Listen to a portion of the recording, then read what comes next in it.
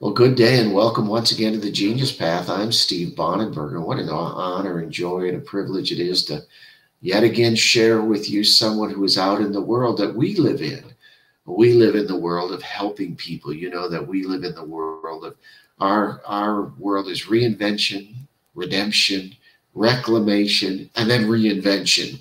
We believe that life uh, stumbles for reasons, and that when you stumble and tumble, that that's going to be the forge, if you will, the crucible that's going to forge up your genius and it's going to push you onto the path that you were always meant to be on. We're going to be talking with Jeff Harding, and Jeff is a really, really interesting guy.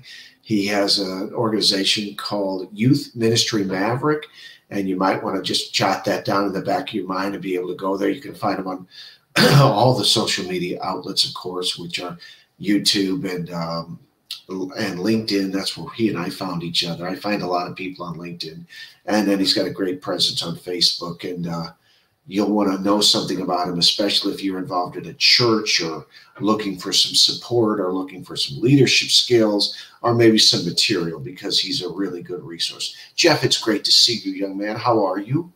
I'm doing well, Steve. I'm doing well. Thanks for having me on. Well, I'm thrilled for you to be here. I'm the old guy, and I get to talk to young guys like you that are in the in the trench fighting. Jeff, let's talk a little bit first about you.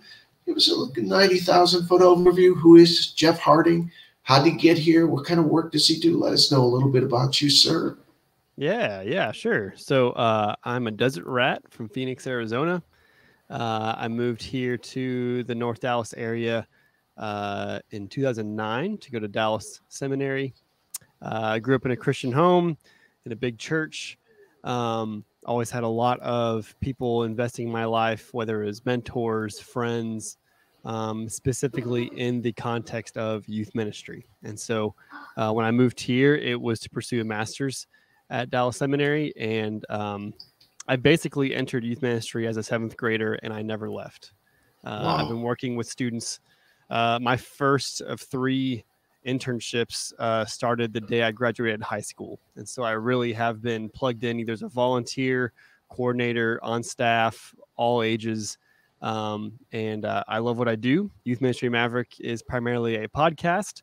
I'm actually working on a publication right now from a series that we just wrapped up on the Enneagram. Um, and uh, yeah, I love making connections uh, with people who are in ministry. Uh, I also work with the National Network of Youth Ministries. I am the area rep for the DFW Metroplex.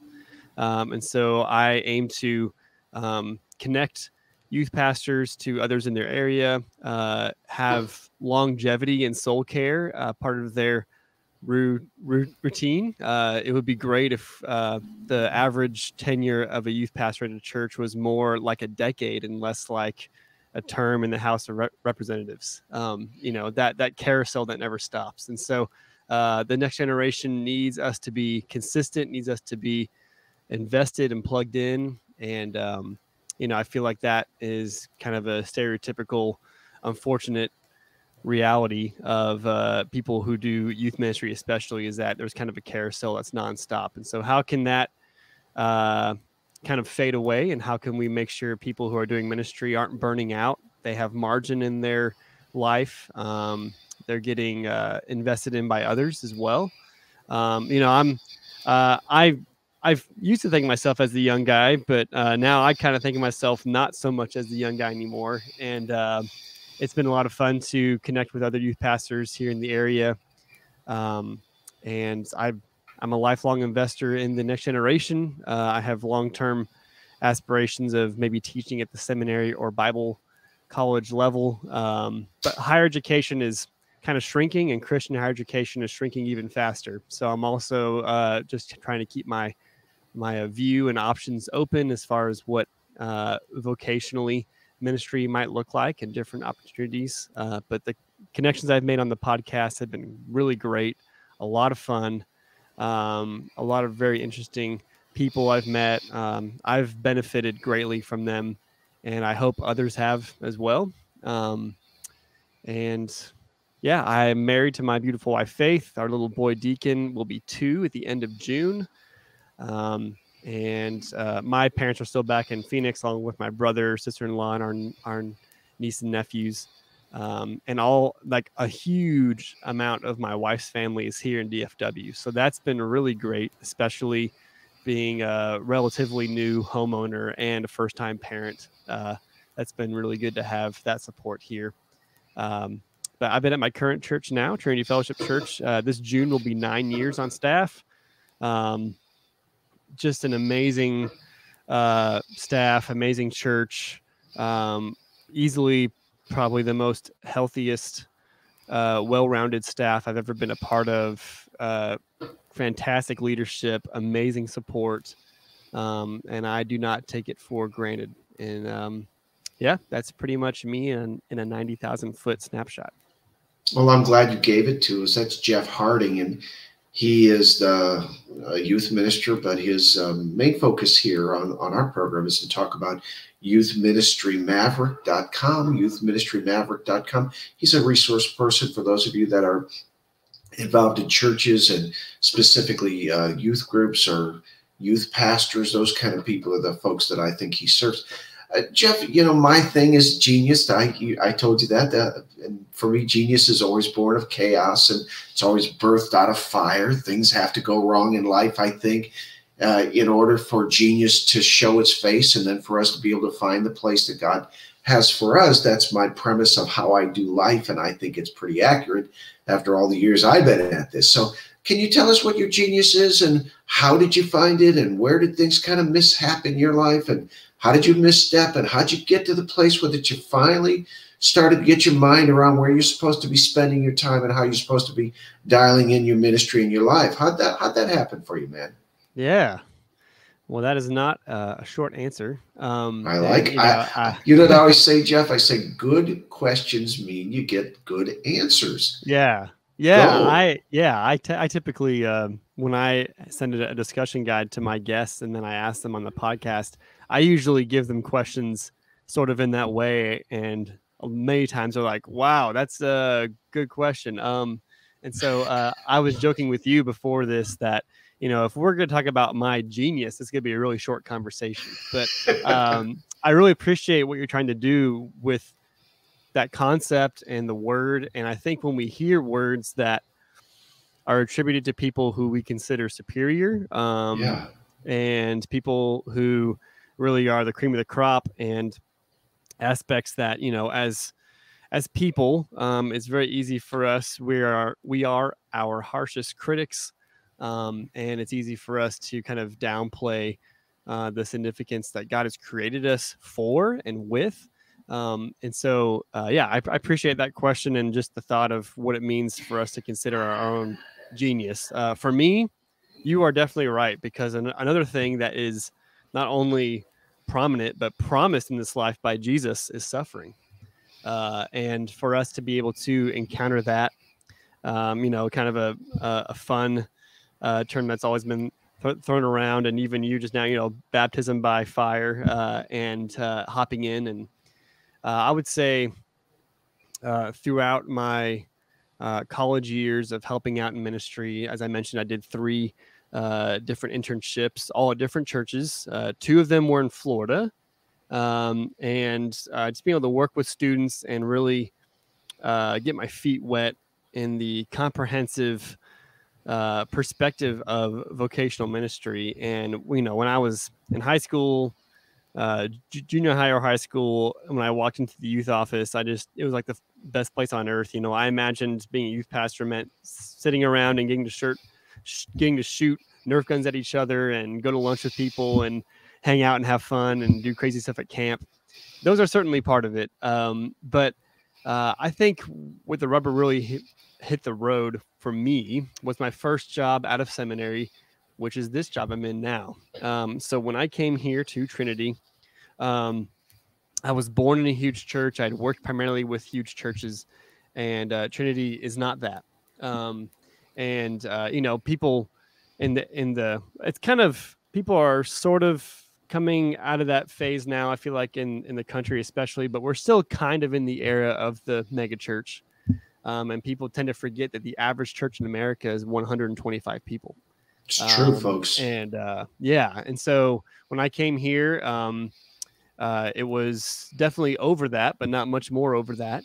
Um, and uh, the previous uh, youth pastor had been here for a long time, um, which is great. And I was hoping to kind of match that as well.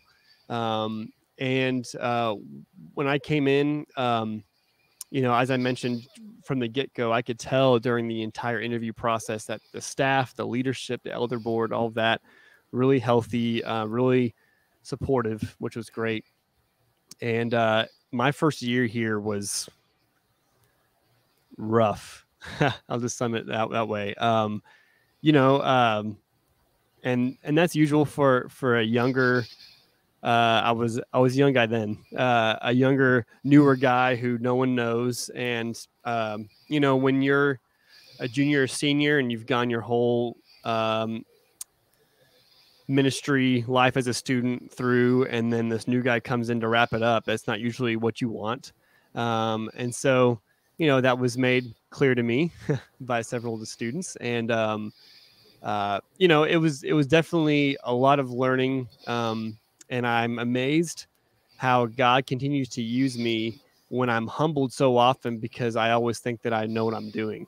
And, uh, you know, uh, seminary was another kind of uh, crucible for me. I feel like I left seminary with 10,000 more questions than I had going in.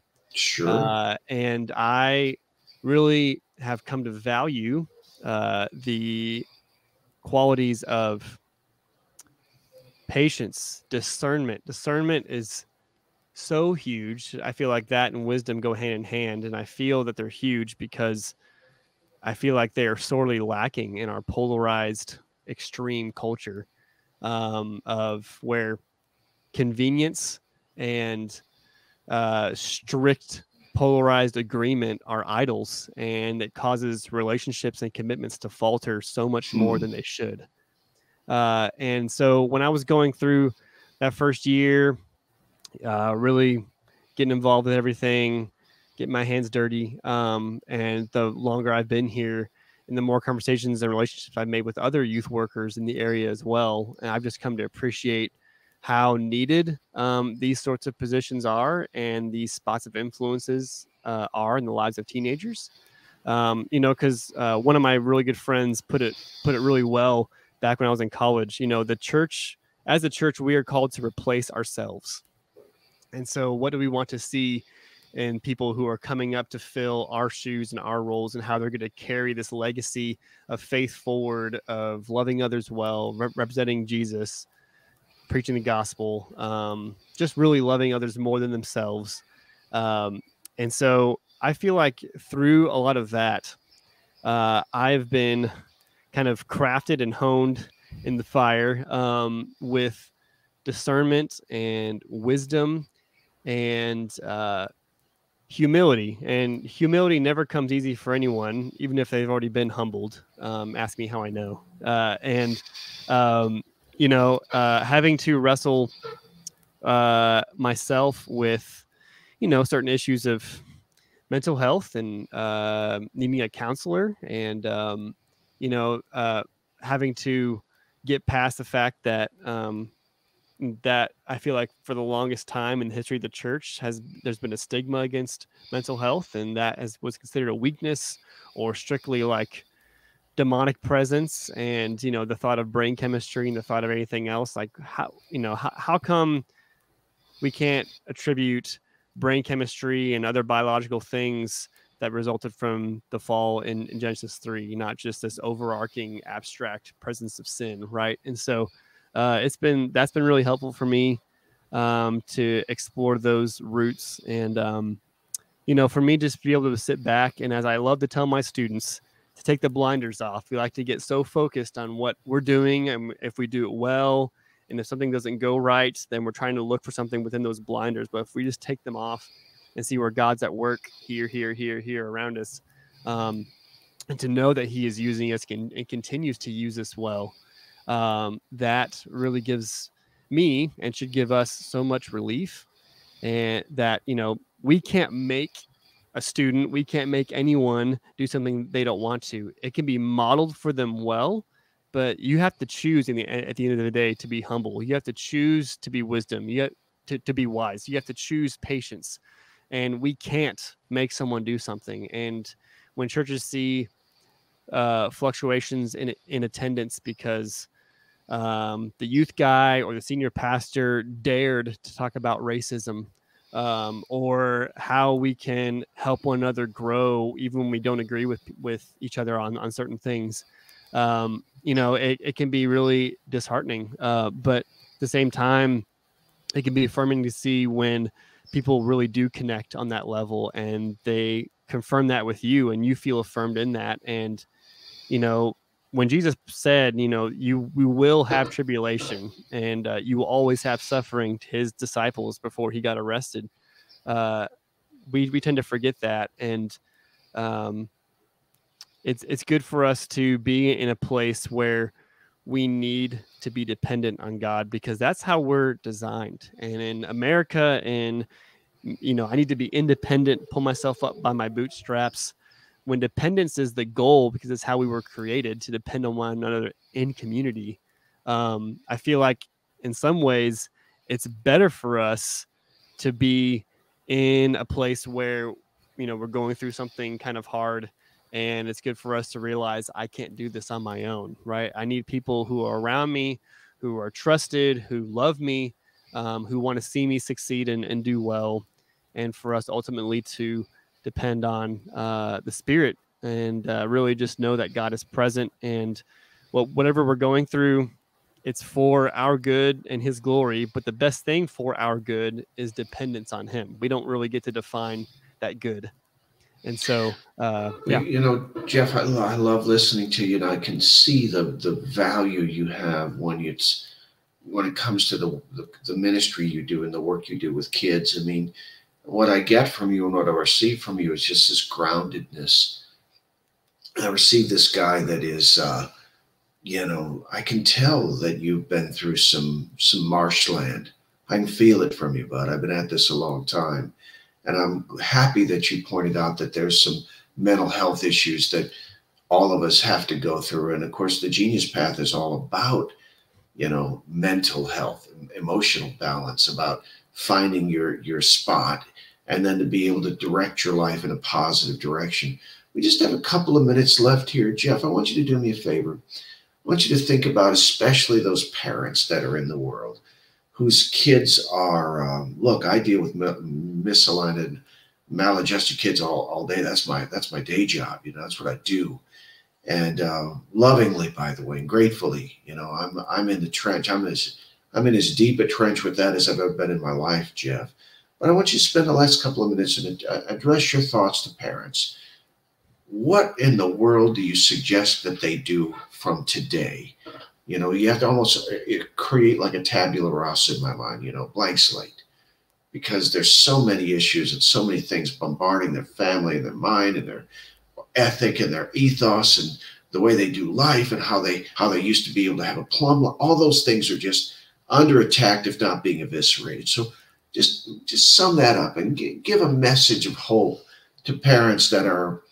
We've got 2.5 teenagers in the house and trying to figure out how to get them to that place where that they're an established adult, you know, within the next several years. What do you say to them to close our time, sir?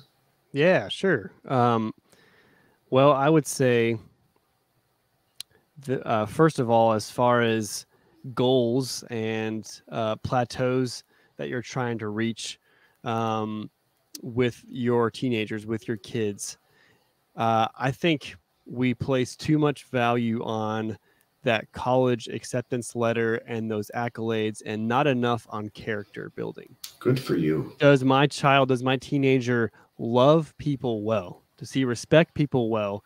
Is he thinking before he speaks? Is he listening? Uh, can he learn from his or her mistakes?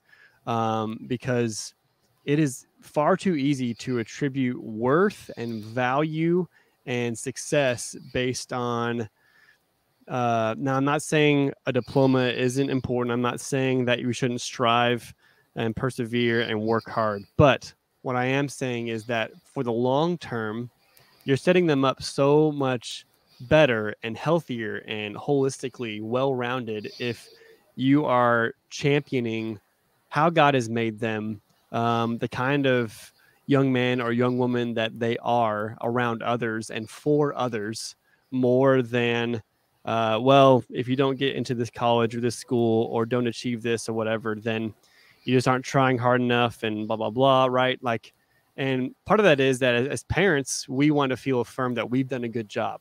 It's and, true. and we do a good job when what really matters is instilled and passed on not so much what the culture dictates matters. And so that's the the first thing I'd really implore parents to do. The second thing is um, find other people to invest in your students. Uh, a guy named Chap Clark uh, at Fuller University a long time ago did a study, and several sociological studies have affirmed this since then. That if your if your teenager especially has five or more people who hmm. are clearly investing in their life hmm. outside of their parents hmm. um, or even biological family. Um, the biological benefits and the mental and emotional um, benefits that come out of that are huge, and and that is another huge um, thing I point to when it's like we were made for community, we were made to depend on one another because when you are in community and depending on a team, not just you as a single parent or two parents, you're helping your child flourish for the future. And so that's another big thing I would say. Uh, probably a final thing, a big umbrella thing has to do with technology and influence. Who is influencing your kids? What kind of habits are they developing? Um, you, you need to have all their passwords. You need to be able to have open dialogue with them about hard things, hard things, race, politics, sex, of course, right? And sex just can't be a one time talk when they're 13. Sex needs to be an ongoing dialogue from when they're five or six to normalize everything. So when things do happen, they do have questions, they can come to you instead of thinking, oh, well, they had the awkward talk with me once, or whenever I watch something that has a reference or we're talking about something, they're like, oh, I don't want to hear that, right? No, we need to normalize those things because our children, our teenagers are being over sexualized, overstimulated. Um, and a lot of that has to do with that mini computer walking around in their pockets. Um, and so it's good for us to be able to know who's influencing them so we can help speak truth into their lives by helping others influence them who are rooted in the truth, rooted in the gospel, rooted in really affirming the good qualities and characteristics of who God has called them to be. His name is Jeff Harding. He is the uh, founder of uh, youthministrymaverick.com. Go there, find him, uh, study his material.